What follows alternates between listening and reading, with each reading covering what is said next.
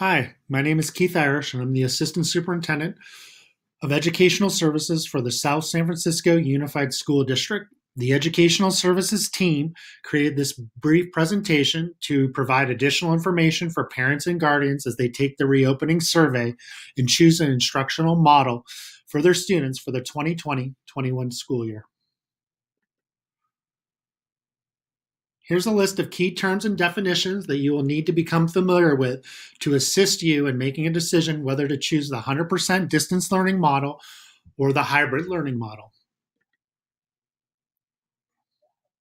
Families that choose the hybrid learning model will be assigned to a cohort. These cohorts will determine how students will be grouped, and the cohorts will determine which days your students will attend in person instruction and support for the 2020 21 school year.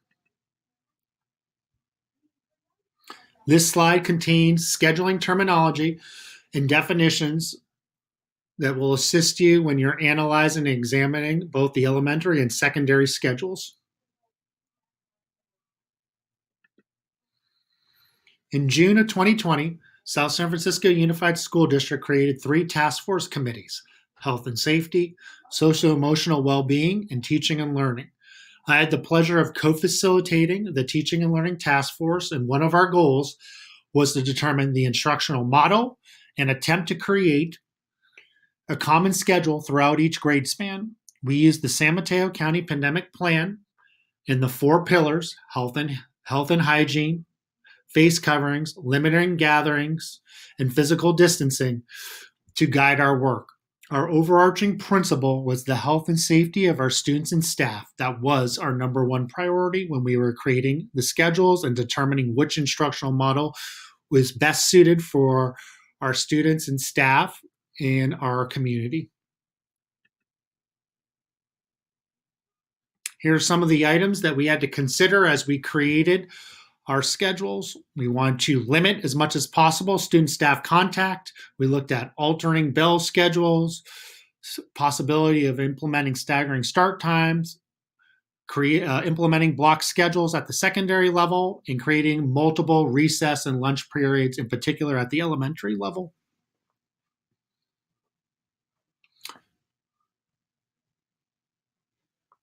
As we looked through our instructional delivery model, one of our big goals was try was to try to create a standardized schedule throughout the district to assist parents and all stakeholders with planning, in particular for childcare. And we want to include time in our schedules for our health and safety procedures for in-person instruction support. So um, having students arrive a little bit early to take their temperatures. So, temp- temperature checks, ensure that all students have face coverings before they go into a classroom or onto campus. So, here's some high level um, information about our elementary schedules. So, once we get to phase three, students would attend two days a week of in person instruction support Again, it will be determined on which cohort they've been assigned to. So if they're in cohort A, it's Mondays and Thursdays they would be on campus. Cohort B, Tuesdays and Fridays. Wednesdays are reserved for asynchronous learning activities, outdoor learning, counseling, student teacher check ins, cleaning of facilities, and teacher prep, and our staff meetings. So at the elementary level, students would basically on their days, depending on what cohort would be in school from approximately 8:30 to 12:30.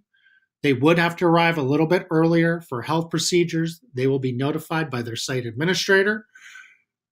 You'll see that there's some flex time on the schedules. This is an invitation by the teacher staff at the site. We're going to use that time for targeted small group or individualized support for our students.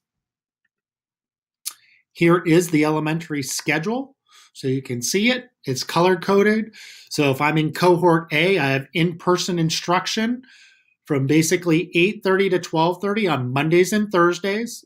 If I'm at if I'm a TK or kindergartner, I'm going to arrive at about 8 o'clock. I'm going to have recess at 9:15 to 9:25, and I'm going to leave campus about 12:20, unless I've been invited for flex time.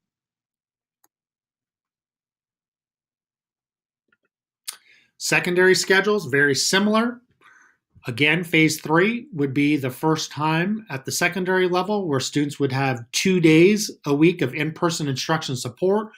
Cohorts A and B, same as the elementary level. Cohort A, Monday, Thursday. Cohort B, Tuesday, Fridays. And Wednesday, again, is an asynchronous learning day for all students in the district. Uh, the secondary schedules you will notice are in a block schedule format, so they'll take three classes in the fall semester. When the students are successful, they will earn a year's worth of credit. In the spring semester, they'll have the opportunity to take four classes if they choose to. Again, students will have to arrive early for health procedures. That information will be, you'll be notified by your site administrator. At the secondary level, students basically will be in school on their days from 9 to 210 again we have flex time at the secondary level invite by teachers individual and small group support and at the secondary level as well as elementary we might be using this for outdoor in-person activities for classes such as asb band um, physical education and career tech. Here is the secondary schedule you can click in the upper right hand corner if you want to. Um, it will open up, or it's a separate attachment, it's linked. For our families that are considering the 100% distance learning option, so this model is 100% remote. So there is no in person support. Everything will be conducted virtually. Designed for students that are immunocompromised or have a pre existing medical condition. We'll give preference for those students um, that have medical documentation to support their request.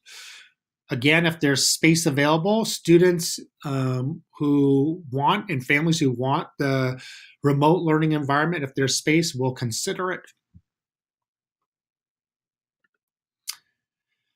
We're going to match up district staff with our potential students. They'll either be at the site or grade level, and again, it'll all depend on numbers. The district will use district adopted curriculum or use to approve K 12 online curriculum such as Edgenuity.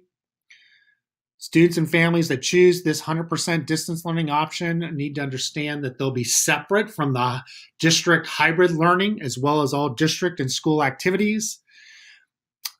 Students and families in this 100% distance learning option will be will have access to a similar schedule as their colleagues and other students that are in the hybrid learning model. So students will take at least six courses in the distance learning model English, math, science, social science, two electives. One of those may be physical education. And the big key here is the commitment from our students and families that choose this 100% distance learning option. We're asking you to stay in this program until the trimester ends at the elementary level. So that's 12 weeks, or the semester um, at the secondary level, which is 18 weeks. That's just a great uh, point to transition back if families are choosing to come back and join the hybrid learning model. If you have any questions um, or clarifications, feel free to email me or give me a call. Um, and please remember to take the reopening survey before July 15th. Thank you so much.